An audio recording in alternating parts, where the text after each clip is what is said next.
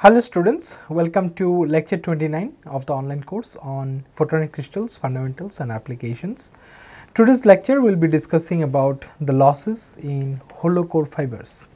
So here is the lecture outline, we will be discussing mainly about the cladding losses, uh, the 1 by r cube power law, radiative leakage, Rayleigh scattering and we will also discuss intermodal coupling in this context. So, let us first uh, have an overview of the losses in hollow core fibers.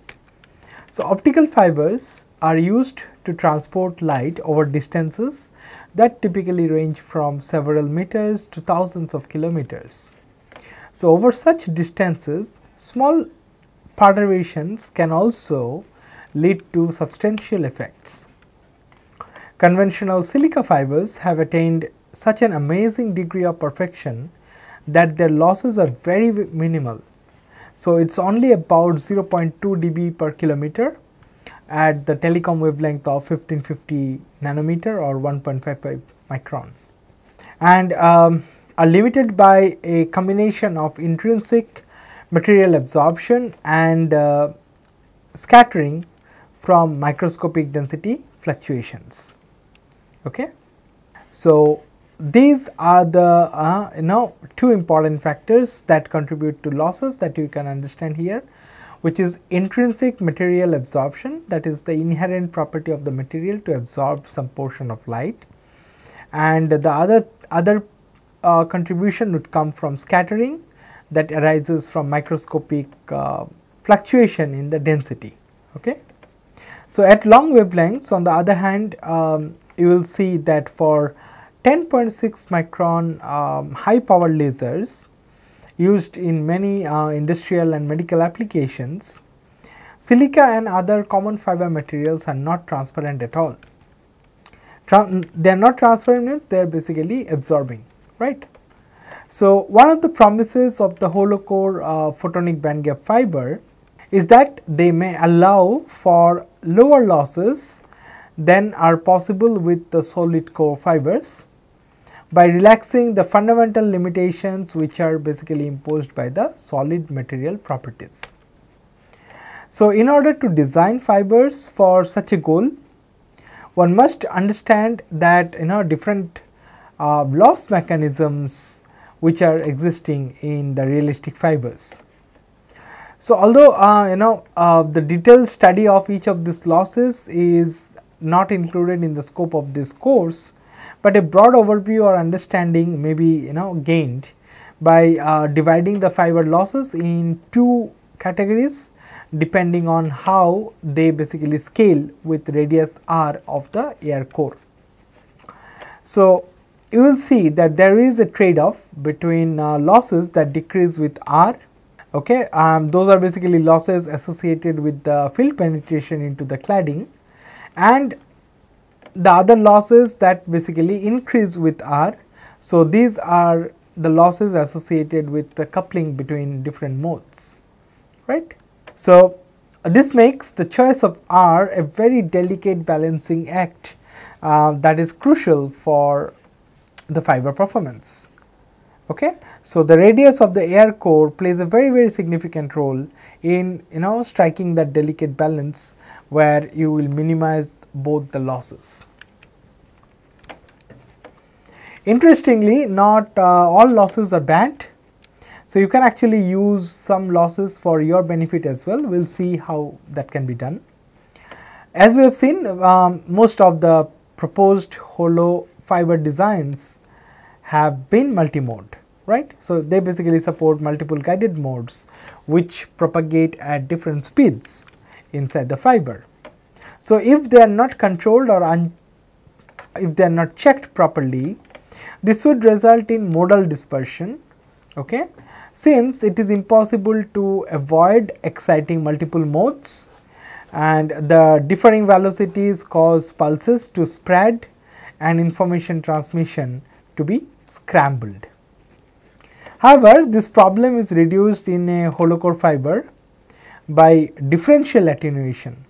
Now, what is that? Some modes typically the lower order modes have uh, much lower loss than others and thus transmission in everything but the lower uh, lowest loss mode will basically get filtered out after propagation over a long distance. So, only the modes which have uh, you know the lowest loss that mode will be able to you know sustain. So, that is something why we are saying that you know not all losses are bad.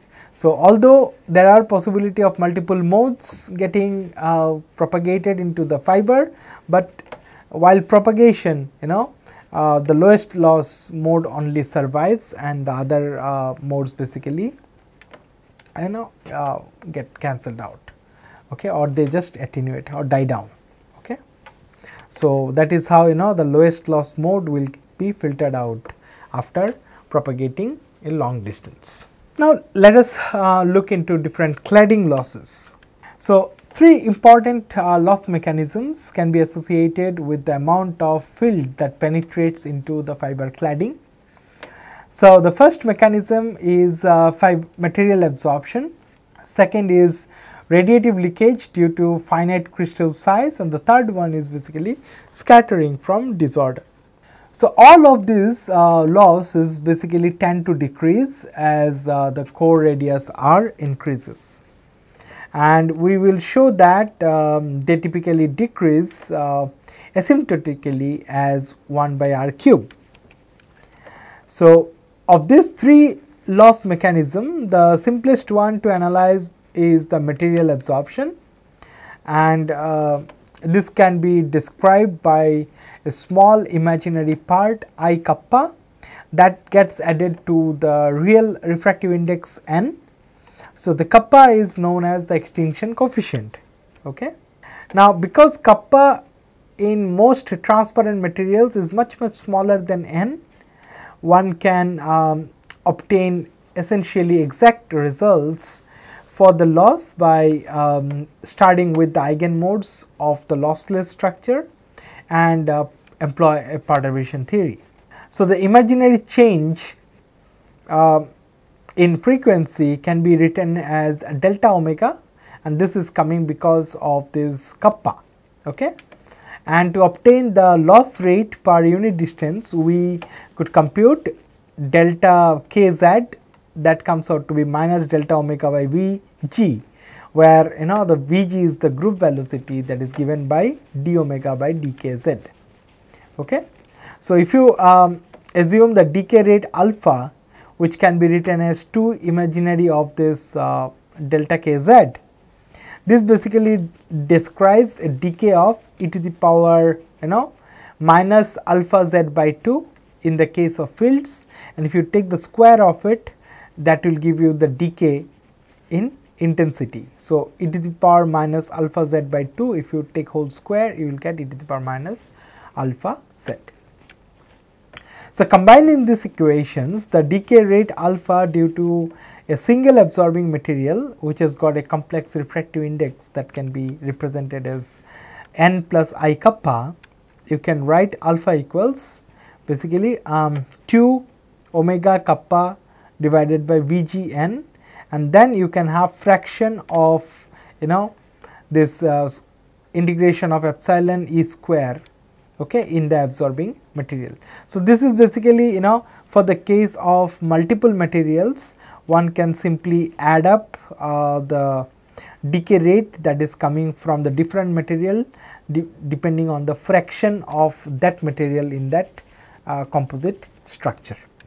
So, as a special case uh, if the field energy propagates entirely within the material with a group velocity Vg given by c by n as for a plane wave that neglects you know uh, material dispersion then the bulk absorption loss can be expressed as alpha naught to be 2 omega kappa by c and that is 4 pi kappa by uh, lambda. So, once again um, if you remember that kappa is uh, so this is the bulk absorption loss and you already know what is your decay rate alpha. Okay. So, in that case you can uh, define a useful dimensionless figure of merit that can be used for hollow core fiber mode okay and that is basically the ratio of this uh, alpha and alpha naught. So, alpha by alpha naught this particular ratio can be used as a dimensionless figure of merit. So, this is also called the absorption suppression factor. So, the factor by which loss is decreased due to the portion of light in air. For example, let us consider the hollow core Bragg fiber and uh, suppose that the low index material has got a refractive index of N1 that is 1.6 and that has got some absorption associated right. So, this is typically that polymer refractive index we discussed in the last lecture okay and um, this this is motivated by the experimental fiber which was designed to operate at 10.6 uh, micron and its absorption loss um, is dominated by the effect of the low index polymer which has a bulk absorption of around uh, 50,000 dB per meter. So, corresponding to a kappa value of 0.01. Okay. So, if you plot the absorption suppression factor that is alpha by alpha naught uh, for the 4 modes of this uh, hollow core fiber okay, where the core radius is taken as uh, r equals 3a, you will be able to see this different you know modes for uh, different frequencies appearing. Okay. So, the absorption loss uh, as you can see is basically uh, dominated by those of the low index material. So, here n equals 1.6 which are basically the shaded green parts in the inset and if you see here um, HE11. So, at the you know uh, very starting here okay, HE11 of the 4 modes the solid red line shows you HE11. Okay. So, this is basically uh, showing you the lowest loss. Okay. So, what is this figure uh, just to uh, tell you once again. So, this is basically uh, the scaling of absorption suppression factor that is alpha over alpha naught versus the core radius again it is normalized as you can see it is r by a and uh, this this graph is shown at uh, quarter wave frequency which is omega a by 2 pi c equals 0.30 okay? And uh, you can correlate that uh, from here okay? So you are actually plotting it here okay? 0.3 okay? Only for that part. Fine?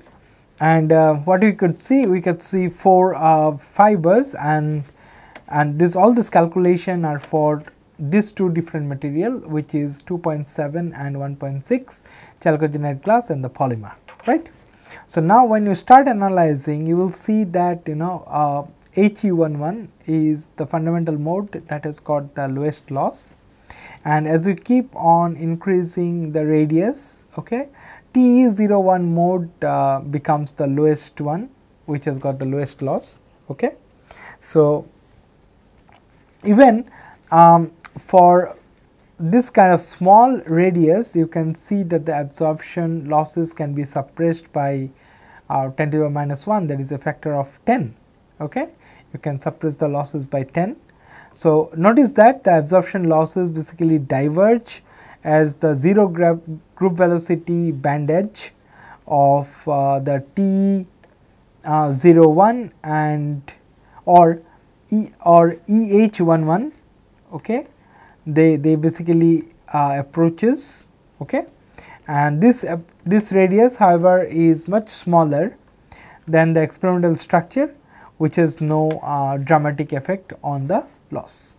So, regardless of the polarization, so here you can see that uh, the modes, all these modes basically um, approach a 1 by r cube dependence which is also shown here okay and you can overall see that T01 mode has basically um, the lowest asymptotic loss okay and um, at the experimental radius of uh, r equals 80 a you can see that HE11 uh, mode is giving you a suppression of almost 10 to the power uh, minus 5 that is the suppression factor. Okay. So, indeed um, loss losses less than 1 dB per meter were observed experimentally representing a suppression of the polymer absorption by over 4 orders of magnitude right right. So, as, as I mentioned already that this is basically a um, you know reference line that shows you know the asymptote for scaling as 1 by r cube and all of these modes basically follow that. So, that is what we will be discussing that 1 by r cube power law. So, what is the source of this uh, 1 by r cube power law? If you revisit this equation that gives you the decay rate, you have seen that uh, you know uh, the key fact from this equation is the contribution of the loss from a particular absorbing material and it is basically proportional to the fraction of the electric field energy in the material. So, this is the electric field energy and it is proportional to the fraction of that material in the whole structure. So, for a core guided mode, no, not, not a surface state, the losses will basically scale as 1 by r and if the field penetrates a certain distance dp inside the cladding, then the fraction of the field in the cladding goes uh, as the penetration area okay, that is uh, 2 pi r dp divided by the core area which is pi r square and that yields 1 by r. Okay.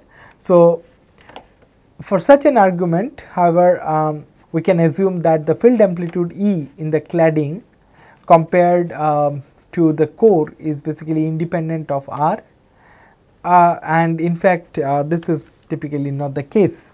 So, you can actually see uh, for the field intensity distribution of TE01 mode okay, um, which by analogy with the metal waveguide has a mode of you know so, we, we, we discussed that it has got a the metal waveguide has got a node uh, at the border or the boundary. So, here also you can see that you know the field is almost uh, 0 when it is this particular boundary that is small r equals capital R right.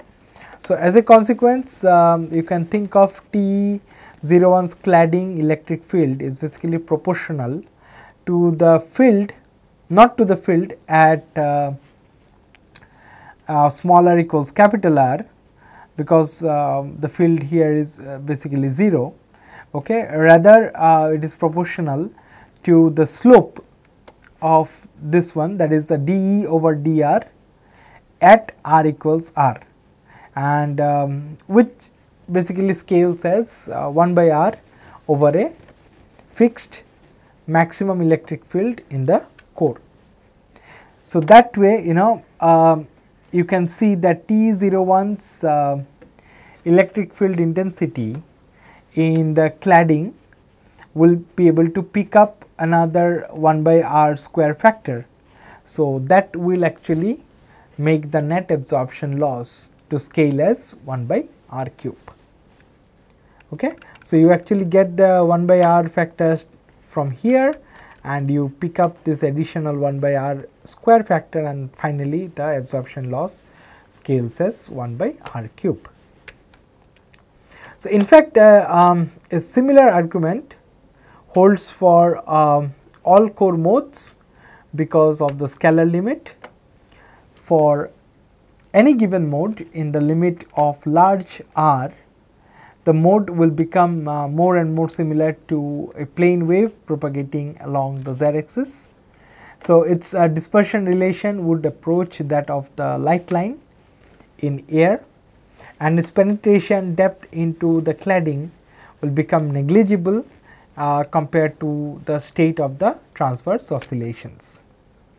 These were precisely the conditions in which the scalar limit applies and in this limit we can describe the mode as a linear polarization multiplied by a scalar amplitude psi xy okay x comma y um, that is uh, 0 in the cladding.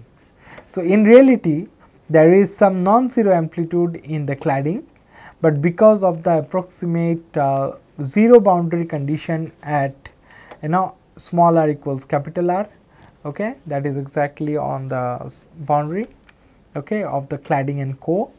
So, you can see that the amplitude of the cladding field goes as 1 by r just as we explained for T 0 1 and that is how you know all the modes basically um, approach a 1 by r cube scaling. So, next important cladding loss is the radiative leakage. So, because a real photonic crystal fiber cannot have an infinite number of uh, periodic uh, crystal or crystal periods, okay, so it has to be terminated somewhere, right. So, the fields will have a small exponential tail beyond the edge of the crystal and uh, that will couple to the radiating modes. Again this loss also scales as 1 by r cube. So, 1 by r factor is coming from the surface area uh, by volume ratio if you take that uh, ratio that is a 1 by r and then you have uh, 1 by r square factor coming from field amplitude scaling in the scalar limit. So, as a practical manner however such radiation uh, can be more easily reduced by simply increasing the number of periods. Okay. So, for the case of high contrast uh, band gap fiber, you will see that the radiative leakage typically would decrease by a factor of 10 for every period or 2 okay, that is added to the cladding. So, as a result as a result um, you know even the most stringent loss requirements can be met by uh, including just a few dozen periods at max. So, the absorption loss uh, yeah at, at most. So, the third one uh, that that decides the third mechanism for the cladding losses is the Rayleigh scattering. So, finally, one can also have losses that originates from disorders which causes light to scatter and radiate by breaking the translational symmetry. Um, because photonic crystal fibers uh, typically have many high contrast interfaces, those are like you know the, every boundary between the high and the low dielectric medium. The most serious problem seems to be due to you know the surface roughness especially in silica based uh, fibers at wavelengths where the absorption is small. So, a detailed analysis of this kind of disorder is indeed uh, very complicated, but you know a few general statements can be made for the usual case in which the length scale of the roughness is uh, much smaller than the wavelength. Okay. So, this kind of um, scattering from roughness which are much smaller than the wavelength can be um, covered within the scope of Rayleigh scattering. The scattered power is basically the lost power is roughly proportional to um, the intensity of the electric field. Okay. So, that is modulus E square at the scattering location and to the square of the scatterer's volume. Okay. So, you can see that uh, this uh, E square modulus E square dependence produces the same 1 by r cube kind of scaling for disorder induced loss as for the absorption loss. Since uh, disorder again affects only a portion of the field that is inside the cladding where the interfaces or materials are present.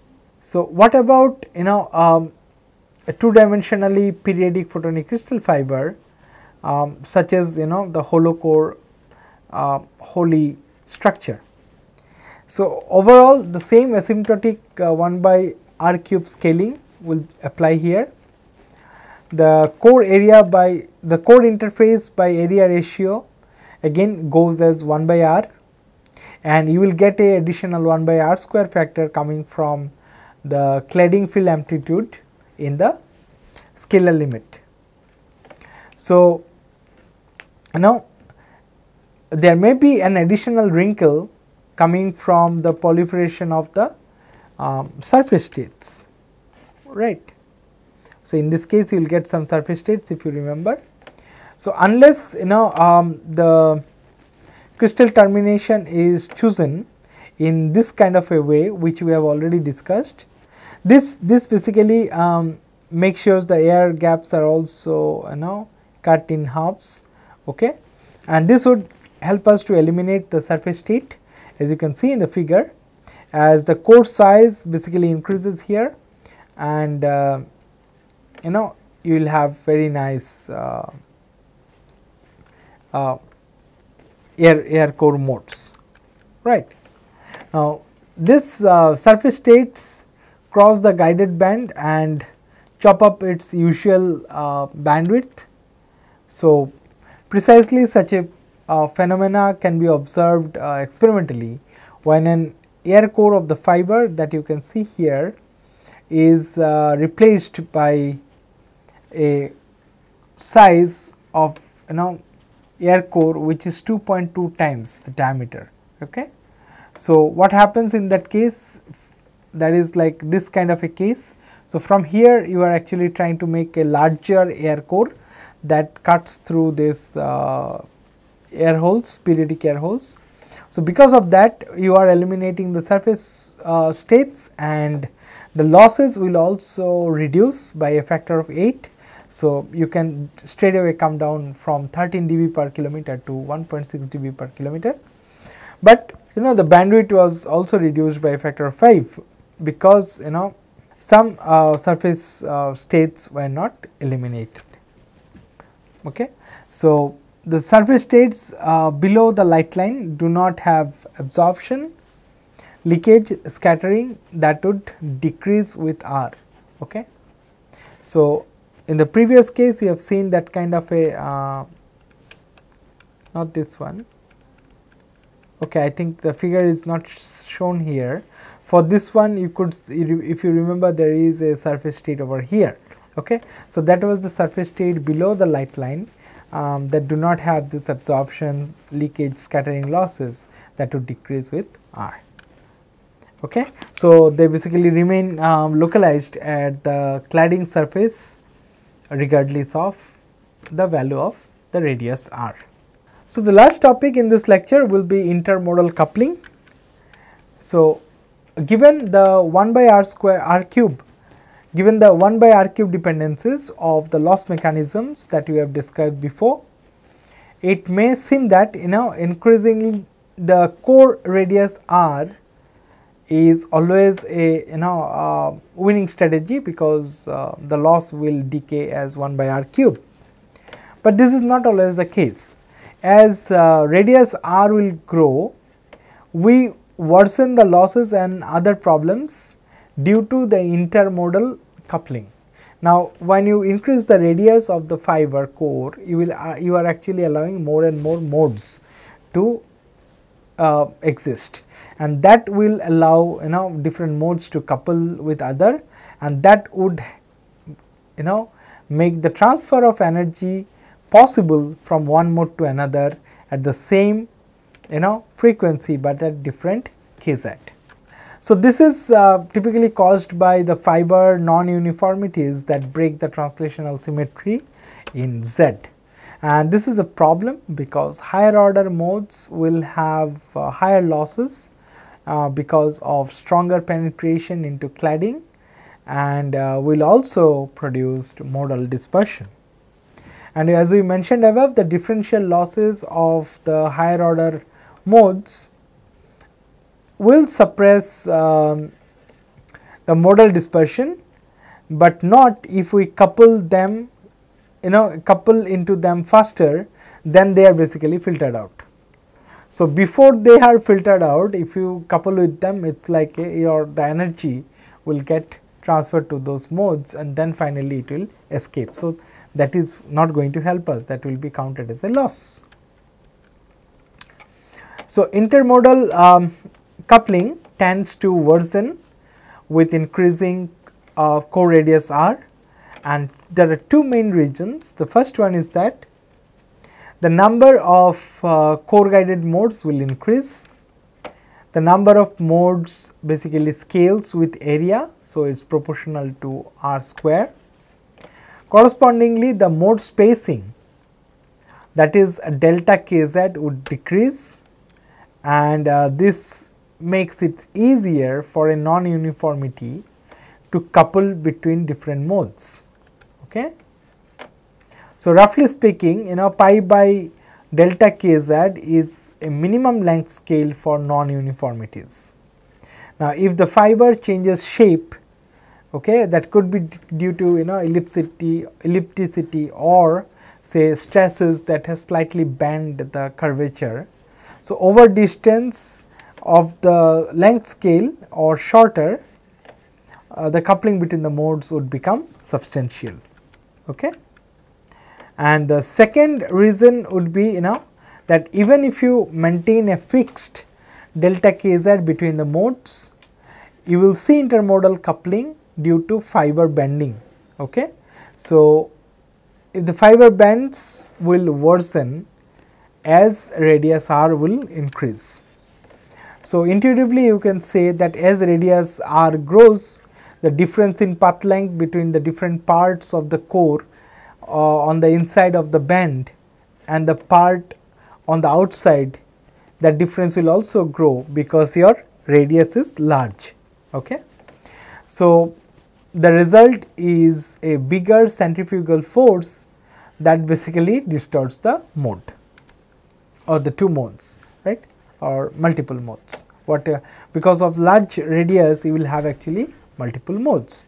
So, the mathematical treatment of banding is a complicated one and it involves a coordinate transformation of bent waveguide into a straight waveguide.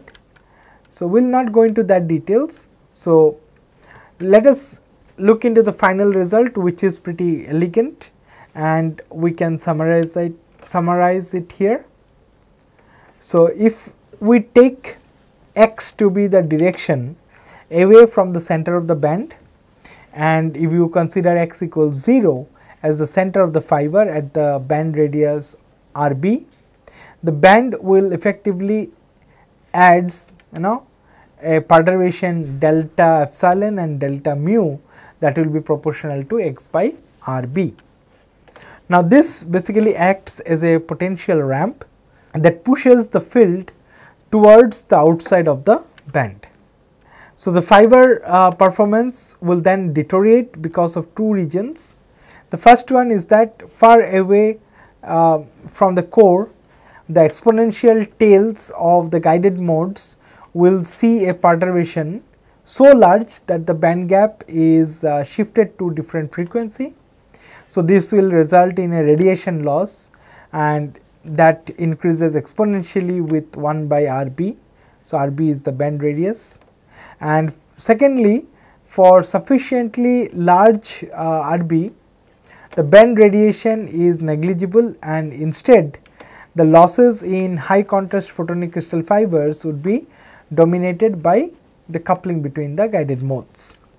And this coupling would vary as R by RB whole square for the case of large RB since you know capital R basically the maximum value of x in the core and it does not include you know the changes in delta kz.